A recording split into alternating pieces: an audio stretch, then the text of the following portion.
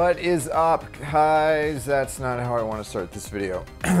What's going on, guys? I hope you're doing well. I'm going to try something a little bit different with today's video, and, and let me give you some background on why. Now, there's one thing that I have found over the last year and a half that I've been doing YouTube that I think makes this channel special. Now, obviously, you guys know that I like to talk about kind of the philosophy and the sociology and all that kind of stuff, and that's one way that makes it unique. But the thing that makes the channel special is actually you guys. You may not know this, but the comment count and the number of likes that my videos get compared to the relative number of views and subscribers that I have, those are really, really high. I don't have a ton of subscribers, I don't have a ton of views, but the number of you guys who take the time to give my videos a thumbs up and even more importantly to take the time to comment on them. It's indicative of the fact that what we're building here, what we're building here is it's a community and that's really, really cool and it's really fun to be a part of that with you guys. And as you know, one of the things that I try and do is respond to every single comment, especially if the video is like less than a month old. But as it continues to grow, as things continue to grow, I'm finding that increasingly more and more difficult.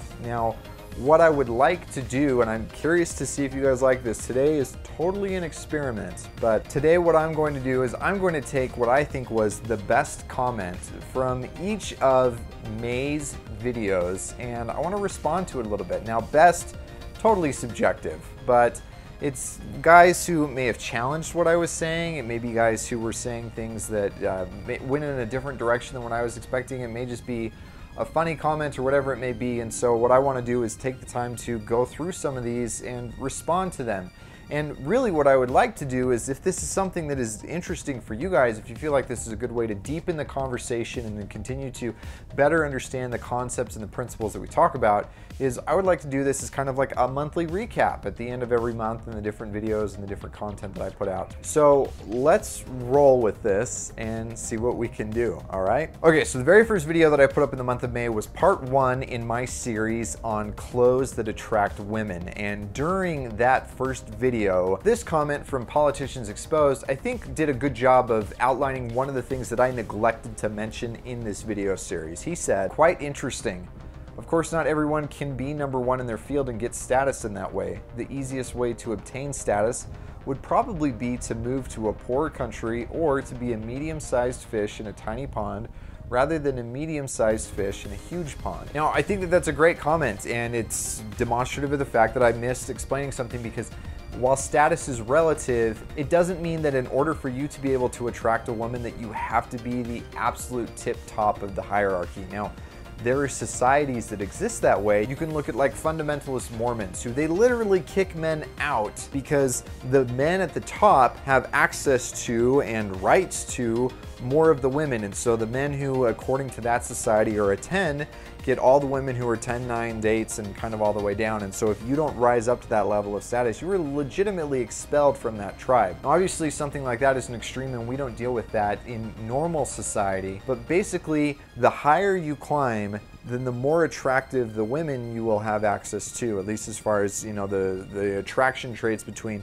status and, and beauty. Now, and obviously there are variables beyond that, but that's kind of how it goes. And so does that mean that you have to be at the absolute top in order to attract the woman that you want to? No, not necessarily, but it does mean that the higher you go, then the more beautiful the women are who will be attracted to you, especially because like we talked about in that video, it always comes back to relative status. And so as long as your status is higher than hers, because most women want to marry up or date up or hook up up, then you're going to be attractive to her. So great comment on that one, dude. In fact, going into the next comment on part two, where we talked about how it's signaled through clothing and how it's all built up, Jonathan made this comment. He said, There's a term I learned from my time in the service that probably applies here military crest of the hill. It means being high up on an elevated slope where you get all the advantages or height, but just below the top of the ridge so you aren't silhouetted against the sky, which makes you an easy target.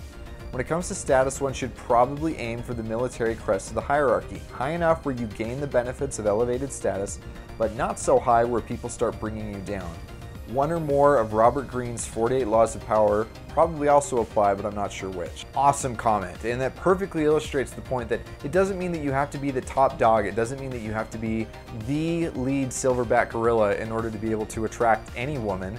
And there are a lot of benefits that come from being second or third tier that, yeah, you don't get if you're further down the chain of command, but you also don't have to deal with a lot of the same risks that come from being the absolute number one that a lot of times in competitive societies or cultures, people are trying to overturn or disrupt. And so maybe that's where you need to be is on that military crest of the hill where you have the advantages of the height but you don't have the exposure of being at the very top. Okay, moving on to the next week. Now the first video in the second week was probably my most clickbaity title, but it wasn't clickbait, right? It actually makes sense. And that was the video where I talked about the fact that context the context of your environment and what you're trying to accomplish with your clothing is much more important than fit because if you are wearing a perfectly fitted suit while you're at the beach, it doesn't do you any good, just like a perfectly fitted pair of swim trunks while you're in a boardroom meeting doesn't do you any good either. And so fit will fall secondarily to context. Now in that video, Thomas Jenkins had this to say. Context is important, but it's not the most important thing. Purpose is. If you choose your outfit for a purpose, that purpose can use or ignore context depending on the strength of the purpose. And you know what? You are absolutely right, man. You got me there because context with it implies that what you're trying to do is fit in, and purpose is something that can override context because maybe what your purpose is is to completely stand out. You're trying to wear the suit while you're surfing or the swim trunks in the boardroom because that is what is going to accomplish your aesthetic goals. And so, purpose overrides context, which is much more important than fit. Which takes us into the following video, in which I admonish you guys to not default to just taking style advice from women just because they're women. So on that one, Rafael Castillo had this to say. Here's the major problem with your argument. The very same can be said about taking style advice from men. The same reasons you put forth for not taking a woman's style advice, except Ashley Weston and other female pro stylists, can be used to argue against taking a man's style advice. A man most likely will not know what women like to see a man wear, but a woman can let a man know what they find attractive as far as menswear is concerned. Now, Raphael, I understand the point you're trying to make and I appreciate it, and I want to disagree with you on two points.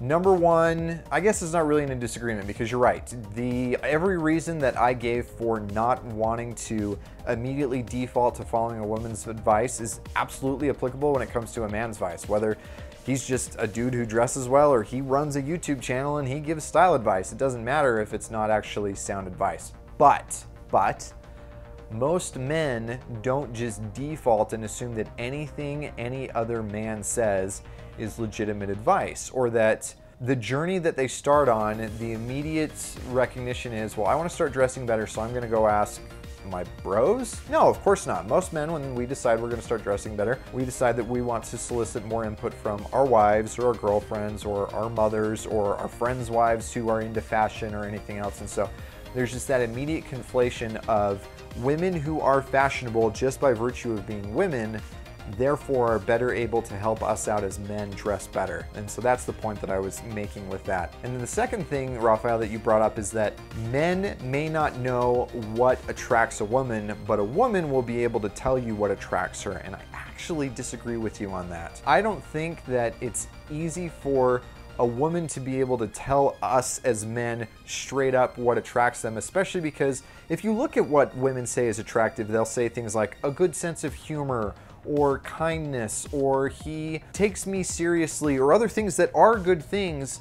But if you have loser men who perform those same things, that does not take them from being losers into being attractive. Those things are only attraction magnifiers for men who are already attractive to these women. You can take somebody like Zac Efron? I don't know, Baywatch just came out. You can take somebody like Zac Efron, who is already attractive because of his build and his status and his social proof and his charisma, and then you give him a good sense of humor and you make him kind and respectful, and all of a sudden he becomes more attractive. Whereas somebody who's a loser and he's at the bottom of the social totem pole, it doesn't matter how funny he is, it doesn't matter how kind he is, it doesn't matter how good he is to a woman, that's not going to make him more attractive. All right, moving on to the final stretch. The next video is style and mindset. Here's what Conrad had to say.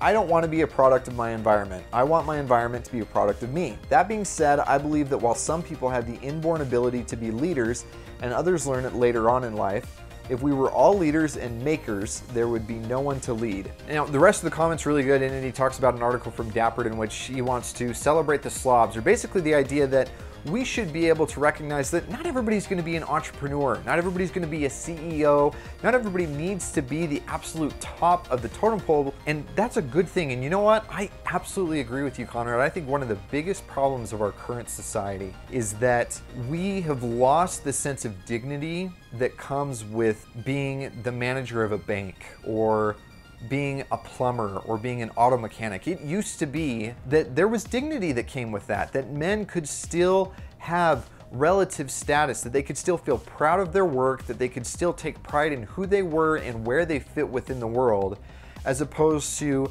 those kinds of jobs or those kinds of environments or living in those neighborhoods or interacting with those people somehow became shameful. And I don't think that there is any shame in working for a company and being loyal to a company or working in a blue collar industry. I do not believe that the only way to be masculine or to be dignified as a masculine man is to be an entrepreneur or a warlord or a veteran or something else that we know is indicative of super high status that is always going to be making history and you're you're shaping the entire world in your image because if you can shape your world in your image, if you can impact your own life, if you have control of your own life, if you can positively impact the life of the people who matter the most to you, regardless of whether or not that's two people or 200 people, then that is still having that mindset of, I'm in charge of my own destiny. And if you're in charge of your own destiny, and that means that you want to work as an auto mechanic, rock and freaking roll, dude. Seriously, I have so much respect for men like that as opposed to those who think that they have to start their own business in order to be fulfilled as men. Yes, if you're wired that way, act that way, but if you're not, don't force yourself into that pigeonhole either. So thank you for bringing up that comment and thank you for bringing up that point because it's so important. And you, if you are not wired to be a particular way, don't force yourself into that and think that that's the only way to be a good man or be good at being a man. Next video was style as a skill. And in it, we talked about, is there a way to dress well without having to get good at dressing well? I'm just gonna, no, I'm not gonna try this numeric guy's name. We'll just read his comment. This is what he had to say. Thanks for making this video. Since I had first learned about your three archetypes, I've always had the feeling that the rakish type is kind of the meta one, because as soon as you start dressing well, no matter the archetype, you start standing out, and that's kind of a more rakish thing. And I agree completely. Whether you fit within the rugged or the refined archetype primarily, as soon as you start putting some effort into your appearance, then what you're doing is signaling in a world where appearance we're told it doesn't or shouldn't matter, you're saying, I don't subscribe to that philosophy. I don't agree with you and I believe that my appearance does matter.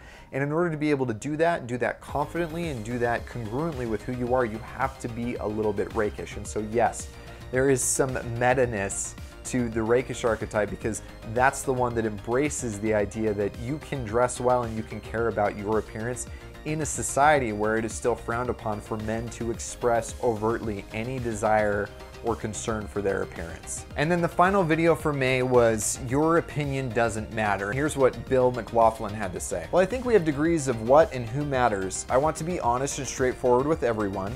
At least try as I'm not perfect. So you could say I think everyone's opinion matters. If we flip the concept on its head, if me and someone else have different values, I don't feel I need to validate myself to them. So I guess you could say what matters to me is that it's obvious what I stand for so that I can accomplish what I want and show respect while doing so.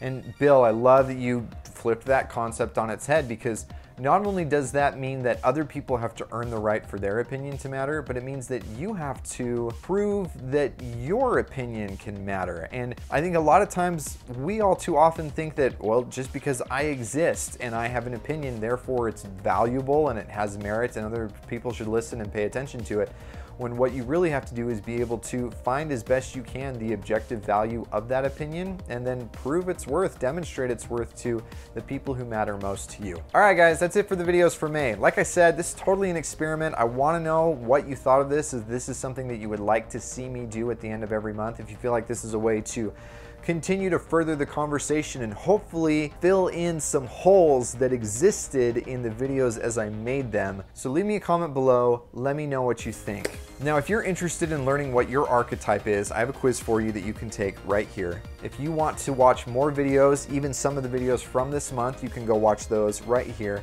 And as always, it helps me grow the channel if you will subscribe, leave it a like, leave me a comment. Either way, I will talk to you guys on the next one.